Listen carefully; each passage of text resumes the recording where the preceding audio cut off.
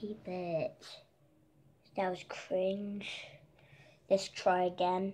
So be back in like three, two, one. Hey guys, Jake here back with another video. And today we're learning about Mabel.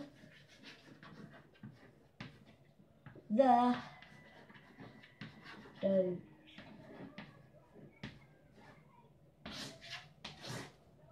I'm at school. This is Mabel the Doge. This is what she looks like.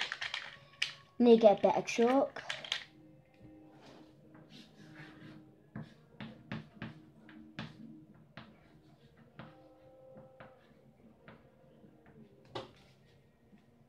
Mabel. On some grass, there's a big turd right here.